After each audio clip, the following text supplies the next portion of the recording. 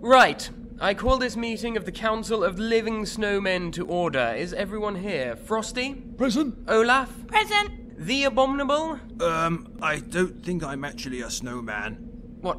Uh, I mean, I mean, it's right there as part of your name. Even so, I, I think I'm a Yeti or something. Oh, right. Well, fuck off then! Fair enough. Right, sorry about that. And lastly, Eric. Uh, present. Now, on to agenda item one. Uh, sorry, uh, who put you in charge? What do you mean, who put me in charge? I'm the snowman. When you've flown around the world with Aled Jones, maybe you can chair the meetings. Oh, makes sense. So, agenda item number one migration. The good news is that the humans still haven't figured out that we migrate north for the summer to avoid getting melted. The bad news is that last time a fleet of snowmen crossed path with a flock of birds going the other way, and.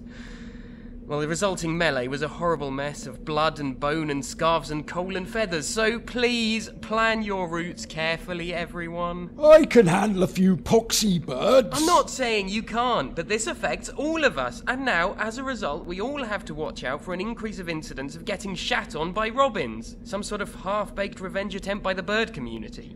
I just bought a new hat. You see, now you've upset Olaf. Not really, I'm perpetually happy. Right, agenda item number two global warming. If we don't do something about this soon, there might not be anywhere we can live without melting. This situation is so serious, I'm upping the threat level to a yellow snow alert. don't take the piss! No, of course not. Thank you. If we took the piss out of it, then it wouldn't be yellow snow. A yellow snow alert is not funny! Why should we have to do anything about global warming? It, it's the humans' fault. I know it's their fault, but it's our problem. It stinks.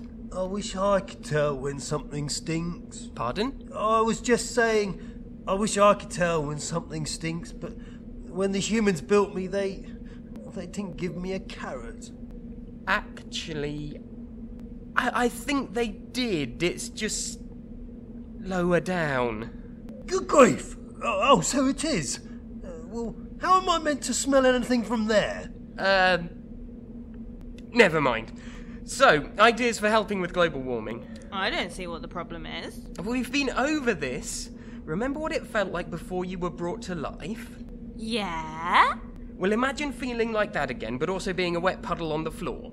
That's what will happen if we don't do something about global warming. Oh. Look, first off, we can't be seen to glorify fossil fuel consumption with our sartorial choices, so from now on, no more buttons made out of coal.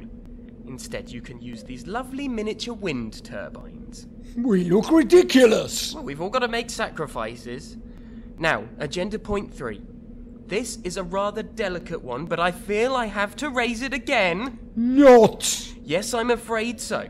As we all know, there is a fine line between a magical adventure and child abduction. It was one time! I don't care. So please, if you are going to go flying around the world with a child, please make sure you're back by the morning.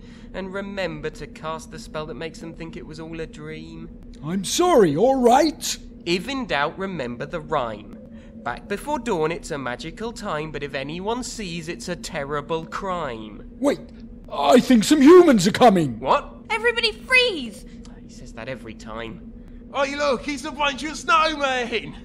it's, it's like they're having a meeting. Have you seen where that one's got his carrot? Oi, put it back. Okay. Not there. Oh, come on, it's funny. Anyway, let's go.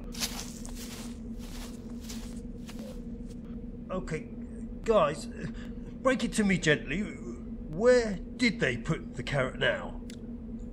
You don't want to know. I feel violated.